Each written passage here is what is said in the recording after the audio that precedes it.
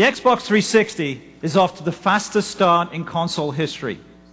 At the end of next month, we'll have sold over 5 million Xbox 360 consoles as we continue to ramp production. That's more than the original Xbox, the PS1, the PS2, or any other console before it at this point in their life cycles. But it isn't just consoles we're outselling. We'll get to 5 million quicker than a pretty well recognized cultural icon as well, the iPod. And that's not all. According to March NPD data, the Xbox 360 sold more games and more accessories than any other console at this point, with an amazing four and a half games plus three accessories sold per console here in the United States.